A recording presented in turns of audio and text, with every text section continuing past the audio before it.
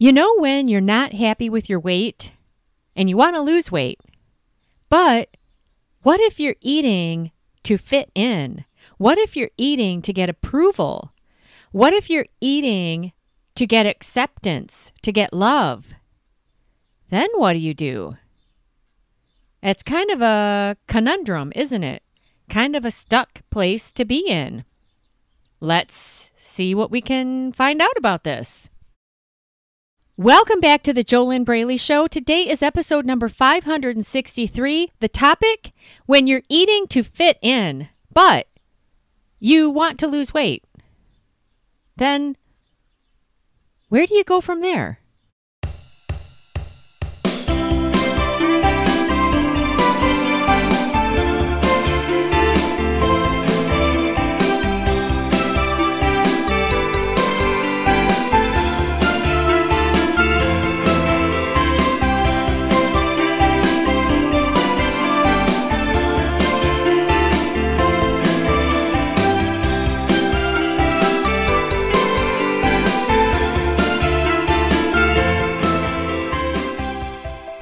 Welcome back to the JoLynn Braley Show. Today is episode 563, and I have a very interesting topic for you, which is a follow up to the previous episode, episode 562, and it's also a follow up to episode 558.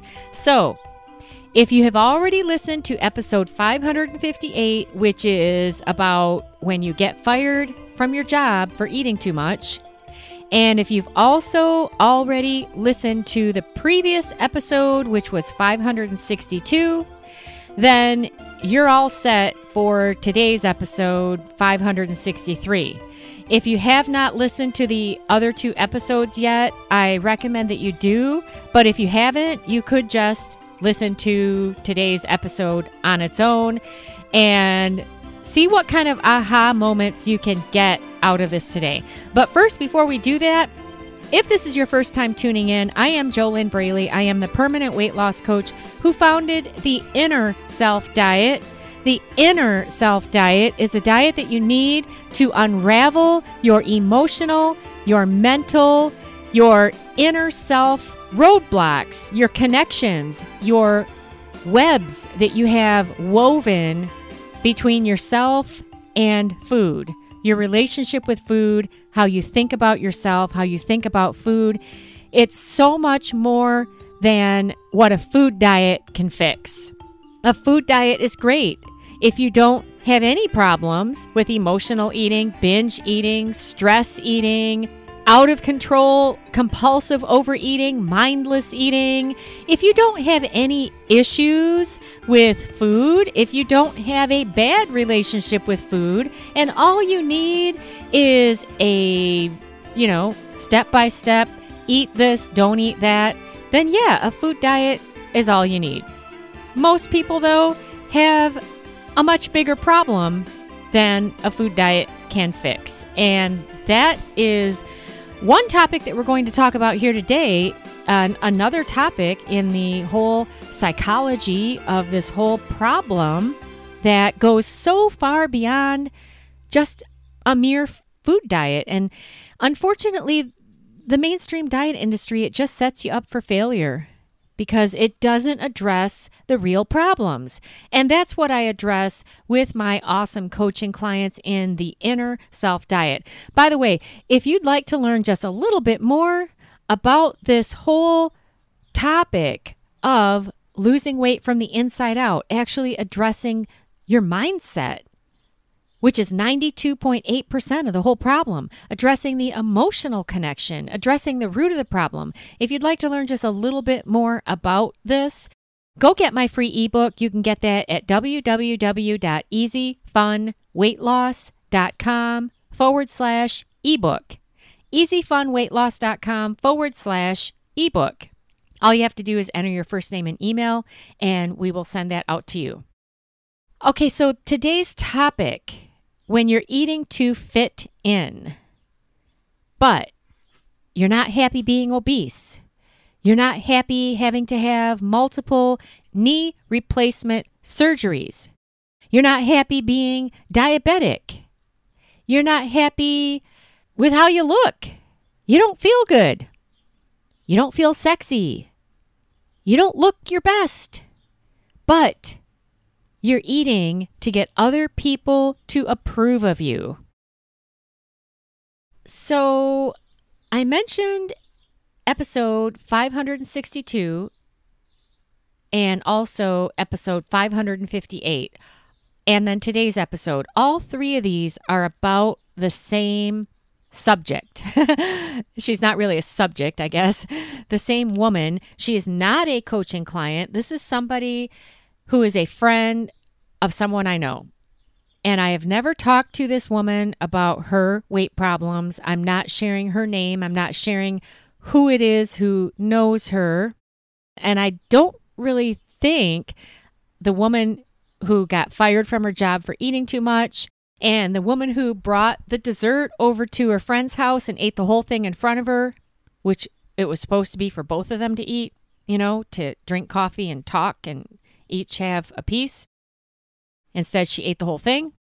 And then today's topic this is all the same person. I don't know if she even is trying to lose weight. So, this is not a client of mine. I'm sharing these stories because these are great examples of how big this problem really is and why there are so many millions who are struggling to lose weight and they're stuck on the mainstream diet industry's roller coaster that sets them up for failure because it never addresses the real problems. So, for example, in today's episode here, in today's story, in this continuing trauma with this same woman who has been in the topic of three of my podcasts now, when you're eating to fit in, you want to lose weight. And like I said, I don't even know if she really is trying, but you who's listening to my podcast, obviously you want to lose weight. Otherwise, you wouldn't be listening to the JoLynn Braley show. So, the person I know who has been sharing these stories with me, who is the personal friend of the woman I've been talking about here in my podcasts, we were just talking today, and it was so funny because I've been asking her, why do you think that your friend ate all of those desserts at her job and got fired at the real estate office. Why do you think that she came over to your house and brought that dessert and ate the whole thing in front of you and you never even got a bite? What do you think's going on? Do you think that she was abused? Was she abused as a child? Did something happen? You know, was she attacked? Is she trying to protect herself? Do you have any idea what's going on? And this person that I know who has been sharing these stories with me always said, Oh, I don't know. I don't know. Um, maybe it's a problem in her marriage or something. Well, today, out of the blue, here's the answer that I got from the one who has been sharing these stories with me. She actually told me, she said, Oh, well, my friend, the one who I've done these other podcasts about. I've told you the numbers 562 and 558. If you want to go back and listen to those. Okay, so what I learned today is that this woman who is obese and eats everything in sight, when she got married many years ago, her husband's family picked on her and criticized her for being so slender and fit and looking so good. Because she used to be in great shape. She used to look her best. She used to be attractive. She used to be, uh, you know, she was really rocking it. And her husband's family is all overweight and obese and they kept criticizing her Well, she overate to get acceptance and fit in with her husband's family.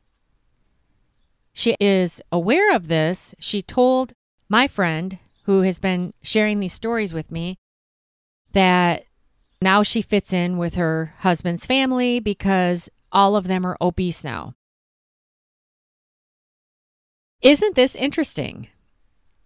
And it's not surprising at all because since I have been professionally coaching my awesome coaching clients since 2009, I launched this whole mind body weight loss venture back in 2007, and then I started professionally coaching in 2009. And over the years, I've had many coaching clients share their fears. And on the surface, if you didn't understand the psychology of this whole problem, then these fears might sound irrational. But these are the real fears that will stop you from getting to your goal weight and staying there if you don't address them and heal them and release them and replace them with positive, empowering, healthy beliefs. These are the things that I do, the deep work that I do with my coaching clients in the inner self diet, so that by call eight, they are struggle free with their eating and their weight which means that they are able to live a healthy lifestyle, to get that weight off without getting in their own way, without sabotaging themselves, without emotional eating, without binge eating. They're able to just do what they need to do to live healthy and fit so that the weight keeps coming off. So they are out of their own way by call eight. Some of the fears that my coaching clients have shared over the years are fears of if I lose weight, I'm afraid that I'll be too attractive, and any man who propositions me, I'll say yes. And I don't want to be promiscuous. Or if I lose weight, my husband will divorce me because I'll be too attractive. Or I'll be out of control and have sex with everyone and anyone if I lose weight. These might sound like very irrational fears, but when that's a real fear that you have, you're not going to be able to stop yourself from binging at night due to these fears. Unless you actually go to the root of this and address what's underneath it and heal it.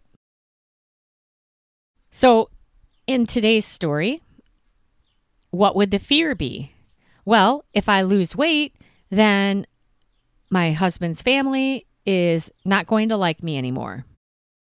And if it's more important what other people think about you than it is what you think about yourself and your own health and your own fitness in your body, in your mind, in your life, if other people have more control over your eating and your weight than you do, then I guess you're really going to be in a pickle.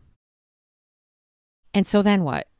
Is the solution to just stay obese, stay overweight? Or could it be that the solution is to Work on your own fears of what other people think of you so that you care more about what you think of yourself because you're the one living your life. You're the one paying your bills. You're the one who has to live in that body. You're the one who has to either look at yourself in the mirror or continue to avoid looking at yourself in the mirror because you're so disgusted with what you've allowed yourself to become, you're the one who has to live with that 24 hours a day. These other people aren't living with it, are they? So, what if there was a way that you could address what's going on with you since the fact of the matter is you can't change other people. And it's not your job to change other people. And if other people don't like you because you look great and you're at your best weight, honestly, that is not your problem. Now, I realize that can be very uncomfortable if those people are part of your family, but there are ways to heal yourself, heal your inner self, boost your own confidence, and be able to accept other people for where they are at. Realize that they have their own stuff to deal with, but that's not your stuff, that's their stuff. So, there are ways to work around this and work through it and go past it without keeping yourself in the chains of overweight and obesity because you're afraid of what other people are going to think of you. And you're afraid that they won't accept you if you look great and if you lose weight. So there is a choice there is a choice to make. You can choose to continue to eat, to try to get other people to accept you and approve of you. Or you can choose to work on yourself, change your own mindset, your own thoughts, your own beliefs, and move forward. These are things that food diets can't fix. And can you imagine how many out there have problems that no food diet can address? But they think that the food diet is the solution because they think that the problem is I'm fat. So I have to do something about it. Okay, so what do I do? Oh, why don't I go do keto or Weight Watchers or Jenny Craig or Atkins or whatever. Or, or, or, or, or, or, or. And then that'll fix the problem. Yeah, and maybe, maybe it will temporarily. Maybe you will lose some weight. Maybe you'll even get all the way to your goal weight. Oh, hey, what about weight loss surgery? That stops you from eating so much, right? Temporarily, because over time you can stretch out what's left of your stomach. Did you know that only 5% or less of those who get weight loss surgery, they regain all the weight plus more. I hear it all the time. In fact, one of my newest coaching clients was just telling me about this. People that she knows who had weight loss surgery gained it all back plus more. Why is that? Why is it that even weight loss surgery doesn't fix the problem? And why is it that diets, regular diets, don't fix the problem? Because actually, what is the problem? Is the problem really that you're fat? Is the problem that you're obese? Is the problem the extra 70 pounds that you're carrying around? Is that the problem? That actually is the symptom. Your extra weight, whether it's five pounds or 50 pounds. That extra weight is a symptom. It's a symptom of your eating. But then why are you eating so much? Or why are you eating the kinds of foods you're eating? What's that about? Well, then you have to go underneath that to what is driving that. And in today's episode, what has driven this one woman to live in an obese body is wanting to get acceptance from other people who don't live in her body, who don't have to deal with the pain in her body. You know how many knee replacement surgeries she's already had? She's had at least two. But hey, one is too many, in my opinion. Can you imagine having knee replacement surgery? What a pain.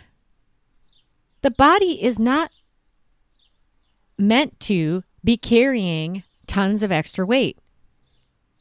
It taxes the heart, it taxes your joints, taxes your feet, your knees, everything.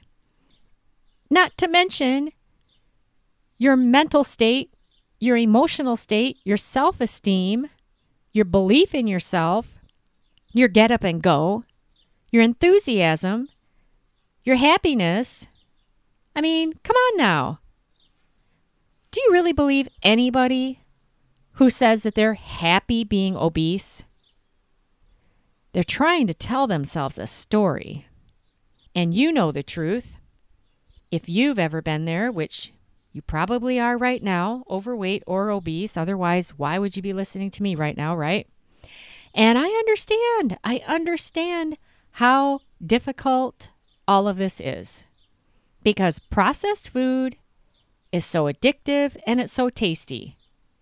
But when you add in all of these other layers of issues, like in today's story, wanting to be accepted by other people, so you actually blow up your own body because all of them in that crowd are obese.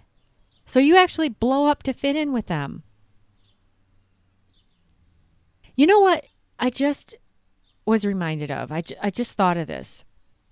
There's a saying, something about soaring with the eagles or laying around with the turkeys. And it's a choice. You can be your best self and there's going to be people, there's going to be turkeys who don't like that and they don't like you. But whose life is it? Whose life is it to live? Is it your life? Is it your body? Or are these other people in control of you? Who cares more about you than you? Why would you hold yourself back and make yourself fat and make yourself miserable to please other people. Who is in your body? Who is in your mind? Who's controlling your mind? These are some pretty good questions to ask. Maybe get out a pen and paper and answer them for yourself.